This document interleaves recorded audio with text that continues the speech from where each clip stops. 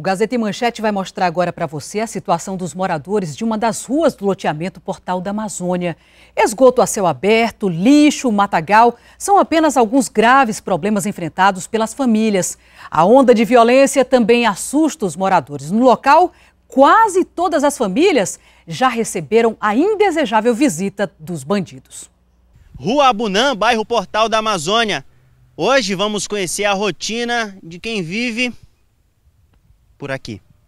A rua é em precárias condições. O esgoto a céu aberto e o mato dão umas boas-vindas por aqui. E a gente aqui vive também um pouco da realidade dos moradores da rua Abunã.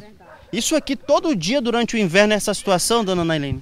Todo dia e durante o verão também. É, é, o ano todo que a gente passa por isso. Hoje tá bom aqui, né? Que a gente passa e é. pelo menos não suja o calçado. É, hoje tá bom, mas nos outros dias é com sacola no pé, tá?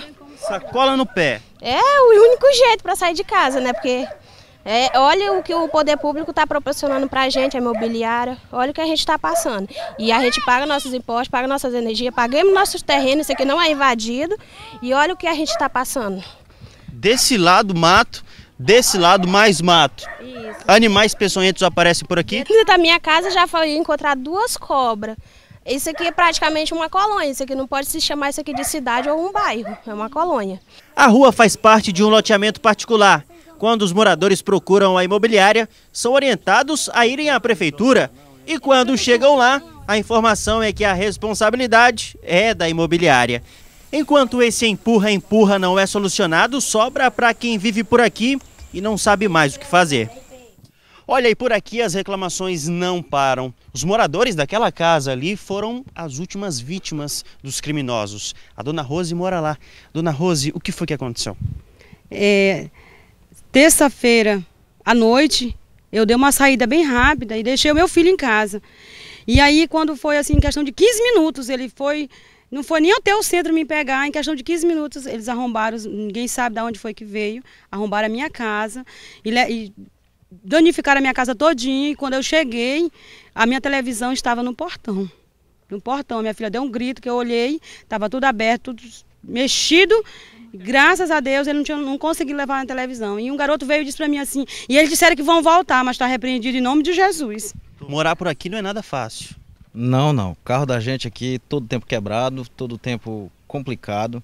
A gente tem pago aqui energia elétrica, pago água, a gente tem que pagar tudo, IPTU, é tudo alto aqui os preços das coisas aqui, ninguém paga prestação aqui menos de 400, 500 reais, tá entendendo? E a gente fica sofrendo nessa situação, né? Ver como é que tá as ruas, ver como é que tá esgoto, é tudo a céu aberto, a bandidagem aqui faz a farra aqui dentro, entendeu? E eles vêm buscar aqui, porque aqui a gente luta, trabalha para sobreviver. E aqui eles ficam dando esse trabalho pra gente. Policiamento também é escasso, não tem de forma alguma. À noite aí é muita gente vadiagem de noite para tudo quanto é lado, entendeu? As crianças aqui nessa rua vivem doentes. Pode procurar lá na UPA os cadastros, que a maioria é do Portal da Amazônia. A iluminação nos postes existe, mas não funciona há muito tempo. E com a rua desse jeito, se já é difícil andar a pé, imagina uma viatura da polícia. Aí fica fácil para a ação de criminosos. Na rua, quase todo mundo já foi visitado pelos bandidos. Entre eles, o pedreiro Francisco Silva. Enquanto eu entrei ali para dentro de, da, da, cozinha, o pessoal vinha levar dois celulares, né? E o celular não tinha nem internet de pagar ainda, que não me levaram. Tinha que pagar um celular para os outros usar, né? Porque não entra ninguém aqui, não entra polícia, não entra nada, só se entrar de cavalo. Porque se entrar de cavalo dá para entrar, mas de carro não entra. Quem aqui está satisfeito em morar na rua Abunão, levanta a mão.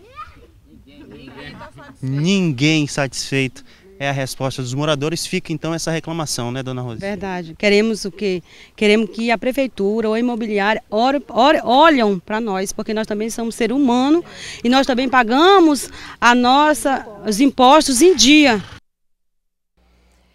É, e segundo o comando do 4 Batalhão da Polícia Militar, o maior problema no Portal da Amazônia é que grande parte das ruas não é asfaltada, o que dificulta o trabalho da polícia. E no período das chuvas fica ainda mais difícil. O comandante do policiamento no local, Major Messias, assumiu um compromisso com a população de fazer mais rondas na região.